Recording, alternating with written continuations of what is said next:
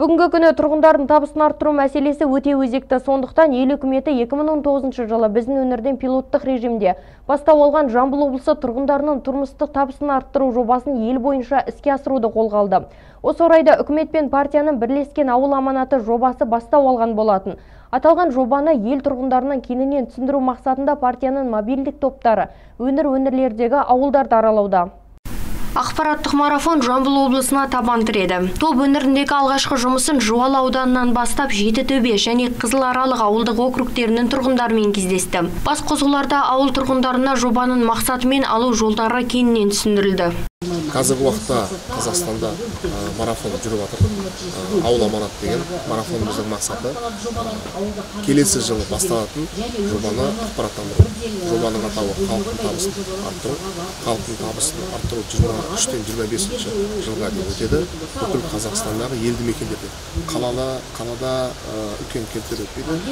Бірінші мақсат осы ауылдағы халықтың табысын арттыру. Сондай-ақ осы уақытқа дейін жоба сәті жүзеге асқан ауыл әкімдері тәжірибелерімен бөлісті. Мәселен 2019 жылы жобаға енген Ақтөбе ауылдық округінің әкімі Ғалым Жақыпбаев 191 тұрғын 224 миллион теңге несие алғанын жеткізді. Ауыл әкімі жобаға дейін 98 азамат мемлекет тарапынан берілетін атаулы әлеуметтік көмек алса, қазіргі таңда тек 8 азамат қана аталған көмекті алуға өтініш берген. Сонымен қатар Жуалы ауданы әкімінің орынбасары Рахымғазы Кунязов жобаға енген ауылдардың орташа айлық табысы 85 мың теңгеден 120 мың теңгеге дейінін өскенін атап өтті.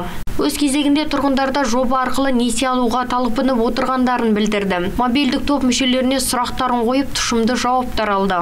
аманат несіне біз өте ризамыз келген партияның сіздеріне түсініктемелері өте жақсы болды себебі халықтың көбі түсініп оған дейін де келіп жүрді ғой спк-ның нелері жоқ мынау кісілерге кішкене халыққа бір ой берді халыққа бір мынандай болашаққа деген мотивизация берді Өз кезегінде мобильді топ мүшелері жеңілдетілген несие алу тұрғындарға қойылатын талаптарды айтып, қазірден үйлерінің құжаттарын реттеп қою керектігі туралы ескертпелерін жеткізді. Келесі кезекте мобильді топ Жамбыл ауданының Ащыбұлақ және Қаракемер ауылдарының тұрғындарымен кездесті. Мұнда да топ мүшелері ауыл халқына жоба аясында кеңестерін беріп, тұрғындармен пікірлесті.